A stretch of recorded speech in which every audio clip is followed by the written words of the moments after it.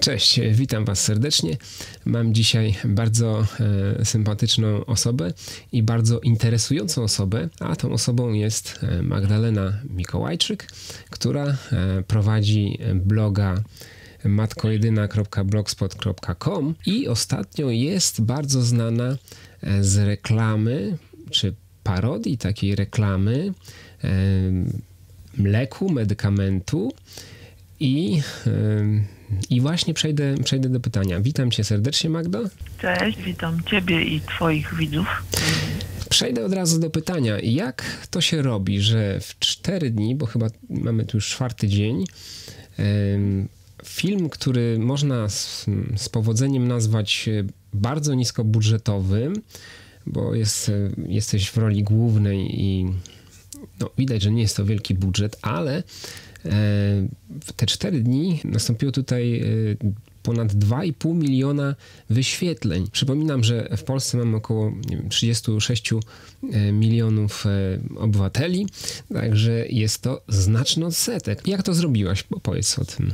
Myślałam sobie o tym ostatnio, jak ja to zrobiłam, ponieważ to się wszystko wydarzyło o wiele szybciej niż w moich najśmielszych oczekiwaniach. I myślałam sobie, jak ja to zrobiłam i jak to się robi, no to wyszło mi, że to jest bardzo proste. Wystarczy mieć genialny pomysł i go zrealizować w równie genialny sposób i, i tyle, tyle od siebie. Y, ja, ja jestem osobą, która miewa bardzo różne pomysły i y, jestem też osobą, która nie zawsze te pomysły realizuje i ten akurat zrealizowałam i się bardzo cieszę, bo w życiu nic takim odzewem się nie spotkało z mojej strony. No właśnie ta y, autentyczność twoja została tutaj doceniona, bo jeżeli dobrze poszukacie, mamy sporo reklam właśnie środków przeciwbólowych, które które są właśnie osadzone w takiej estetyce, ale tam e, siłą marketingu, po prostu płatnych reklam, czy płatnego wyświetlania e, na YouTubie, czy gdziekolwiek, e, nie ma takiego zasięgu i no wiadomo, że to jest reklama, natomiast tutaj tutaj jakby ta autentyczność, tak mi się wydaje, zbudowała widownię. Ja w, ogóle we wszystkim, co robię, ja jestem artystką, użyję takiego wielkiego słowa od wielu lat i we wszystkim, co robię, największą wartością jest dla mnie szczerość. Jeżeli coś jest dla mnie, coś jest dla mnie niewygodne, coś mi nie pasuje, to ja od razu to odpuszczam. Wszystko robię na, na, na czucie, jestem amatorem wielu dziedzin y, i, i, i, szczerość jest dla mnie niezwykle ważna. Dlatego cieszę się, że o tym powiedziałeś. Cieszę się też, że to się da wyczuć z tego filmu. Tak. To jest dla mnie ważne. I jeszcze jedna rzecz. Przecież wielkie korporacje również tworzą takie firmy, filmy, które są rozprzestrzeniane za pomocą, no właśnie sieci, podawane z ręki do ręki. Ja co najmniej czterokrotnie otrzymałem z różnych tam po prostu na Facebooku, z różnych e, źródeł, e, czy różnych osób e, właśnie taki, taki film, twój film podawany właśnie z ręki do ręki.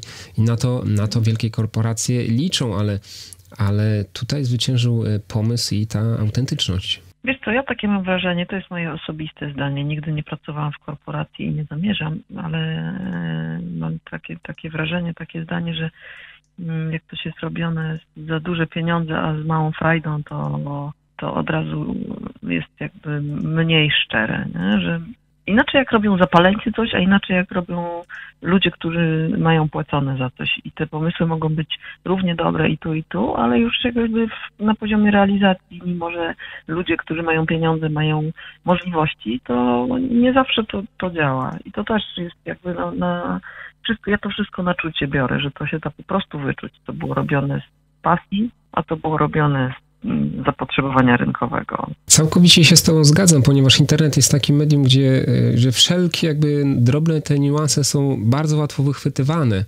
I ta różnica między właśnie filmem korporacyjnym a takim filmem wykonanym przez naturszczyka, nazwijmy to, to jest y, bardzo łatwo wychwytywana i też premiowana oczywiście na korzyść tego naturszczyka nazwanego tutaj na mnie, czyli ciebie. Ja nie, nie mam też nie, nie mam takich danych. To jest pierwsza rzecz, jaką zrobiłam tego typu. Y, ja już wcześniej byłam trochę znana w internecie, ale z zupełnie innego filmiku, z takiego wysłałam taki filmik y, na, na konkurs, na wideoblog i też tam zwyciężyłam ten konkurs i ten film też krąży w sieci od kilku lat, to też może, nie wiem, czy akurat twoi widzowie, twoi czytelnicy znają, to jest film pod tytułem Co ciąża zmieniła w moim życiu i ja tam po prostu mówię do, do, do kamery coś tam. To, to, to nie jest, to nie ma nic wspólnego z taką produkcją. Yy, ale to nie jest tak, że ja mam doświadczenie w tej dziedzinie i ja teraz, nie wiem, posiadałam yy, rozum i, i mogę opiniować, czy, czy wygłaszać jakieś swoje zdanie, że jest tak, bo ja tak zrobiłam i tak działa. Nie, nie, nie, to wszystko się jakby dzieje poza mną. Ja miałam pomysł, realizowałam, a naprawdę nie spodziewałam się, że to aż tak zażre. Nie. Jedne było pewne, że bardzo mnie to bawiło.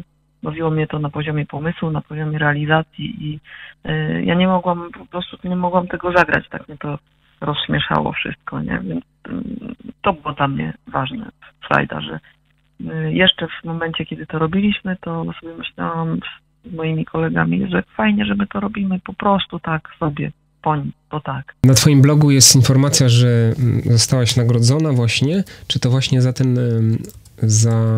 Nie, dostałam jeszcze jeden, jeszcze jedną nagrodę w zeszłym roku na blog roku zostałam wyróżniona tekstem roku. Nagrodę przyznawała Joanna Bator i ten tekst też można spotkać na moim blogu. Nazywa się Anatomia Matki i można sobie zajrzeć też, polecam. Mhm.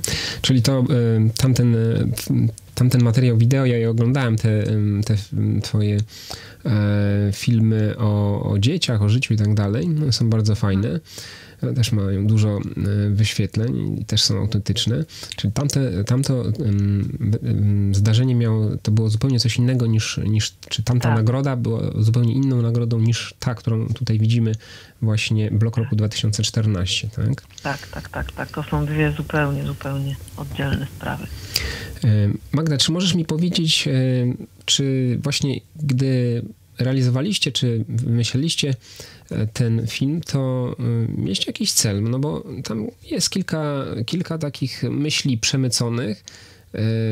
Nie jest to takie jednoznaczne, prawda, śmianie się, żeby się śmiać. Czy miałaś taki pomysł na to, żeby Wiesz coś ja, tam ja przemycić? od wielu lat, wielu, wielu lat występuję w kabarecie. Naprawdę wielu lat. I Yy, ludzie nie kojarzą pewnie mojego kabaretu, nazywa się Słoiczek po cukrze. Teraz kiedyś występowałam w kabarecie Szum, to zawsze były żeńskie składy. Yy, I jakby mm, nie, nie jestem jakoś super rozpoznawalna z kabaretu. Yy, natomiast zawsze, od zawsze miało dla mnie wartość sfera tekstowa. Ja jestem człowiekiem piszącym i nie bawi mnie głupia mina, tylko bawi mnie słowo, zabawa słowem.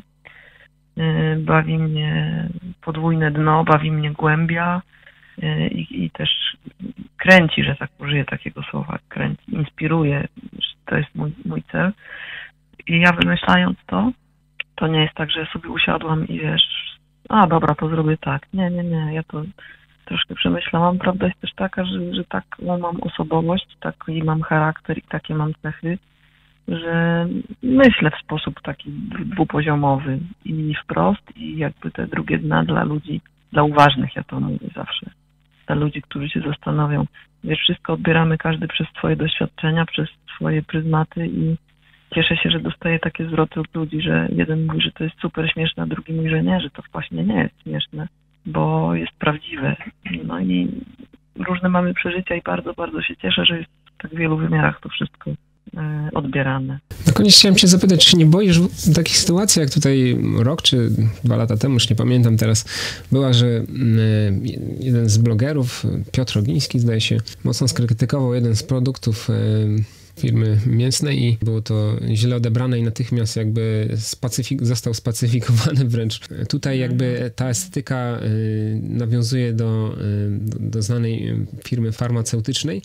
Y, nie miałeś, takie, nie miałeś takich obaw, że możesz po prostu stanąć na wokandzie? Ja myślałam, że w ogóle to zobaczy kilkoro moich znajomych i się ucieszą i ci moi followersi Facebooka i wydawało mi się, że to się zatrzyma na poziomach kilku tysięcy oglądalności, więc zupełnie o tym nie myślałam. Potem sobie pomyślałam, ojej, jak to może być odebrane, ale to nie może być źle odebrane, bo to jest parodia, ewidentnie, ewidentnie parodia. Yy, ja też podpisuję to jako parodia, to nie jest reklama, to nie jest żaden medykament, ja nie używam nigdy słowa, że to jest lek, to nie jest lek, to jest preparat, to jest środek, to jest nic.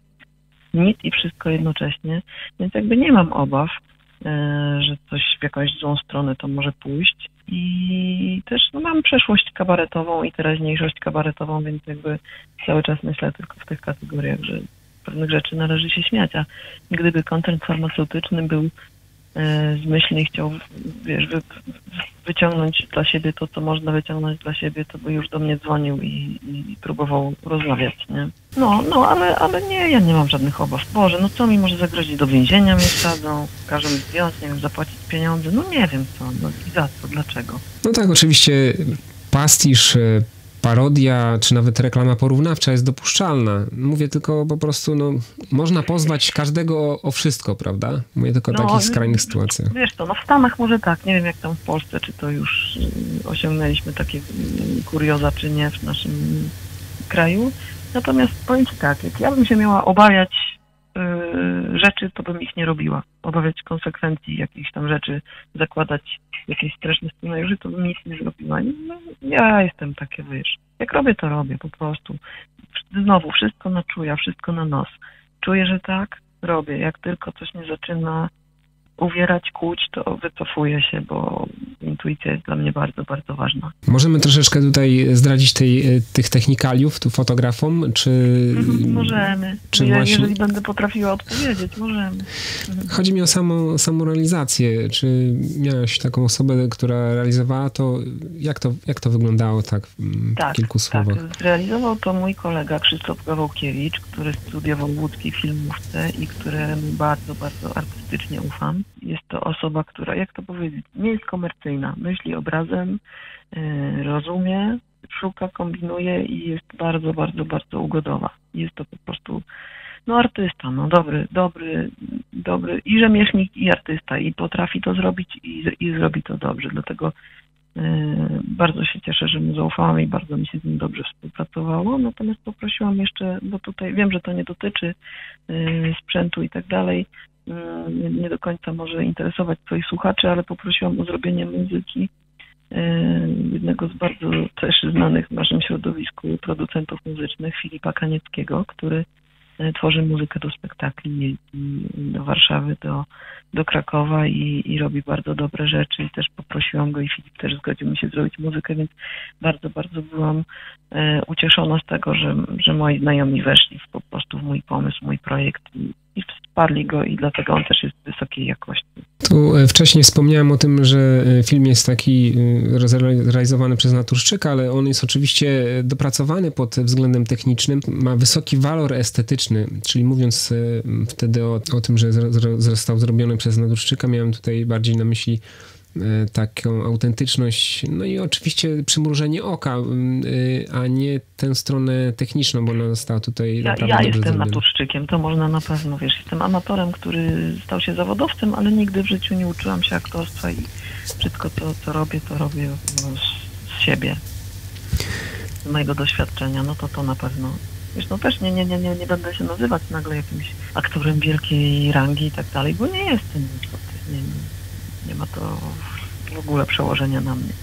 Gdzie zaprosimy y, widzów? Zapraszam serdecznie, drodzy widzowie, na mój blog. Nazywa się matkojedynablog.com. Y, jest tam dużo, dużo różnych emocji. Od... Gwarantuję wam, że każdy się wzruszy i każdy się ubawi. Znaczy, może nie każdy, bo jakby pisała dla każdego, to bym pisała dla nikogo E, na pewno jest to blog dla widza inteligentnego i dla widza, dla widza, dla czytelnika inteligentnego, dla czytelnika wrażliwego. E, można odnieść wrażenie, że jest o dzieciach, ale nie jest. Proszę nie odnosić takiego mylnego wrażenia. Jest tam dużo moich dzieci, ponieważ mam dzieci i wie to każdy, kto ma dzieci, na jakiś czas trzeba z nimi utknąć w domu. Natomiast y, jest tam dużo, dużo też innych rzeczy różnych i tak jak w tym filmie można znaleźć drugie dno i też odnieść wiele rzeczy do siebie. Zapraszam. Zapraszam i gratuluję takiego wyniku. Jest to tak jak na, wstęp, na, wstępie powiedziałem, taki Oscar y, wręczony przez, przez widownię, bo przecież chyba o to chodziło, Nagroda żeby... Publiczności. Nagroda publiczności. O to właśnie chodziło, żeby ten film się rozszedł, żeby był obejrzany w jak największej ilości razu. Dziękuję, dziękuję Ci bardzo też za telefon. za rozmowę. Dziękuję e, za rozmowę, no i życzę kolejnych sukcesów e, w pisaniu i w tworzeniu. Dzięki bardzo, pozdrawiam serdecznie. Dziękuję. Moim gościem i waszym takim wirtualnym gościem e, była Magda Mikołajczyk, no, autorka blogu matkojedyna.blogspot.com. Jeszcze raz przypomnę. Dziękuję, pozdrawiam. Ból. Zmęczenie. Smutek. Lęki. Bieda. To wszystko nie pozwala ci normalnie funkcjonować? Weź nie pierdol. Weź nie pierdol, uśmiechnij się i żyj. Przed zastosowaniem skonsultuj się z lekarzem lub farmaceutą, ale i tak każdy powie ci weź nie pierdol.